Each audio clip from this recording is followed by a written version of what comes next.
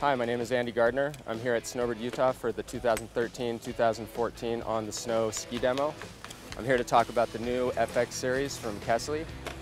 The FX series comes in the FX 84, 94, and 104.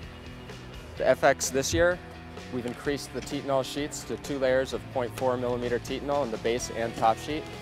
The ski has camber throughout the body and early rise in the tip for increased skiability in soft snow, but still hard snow grip for all mountain skiability.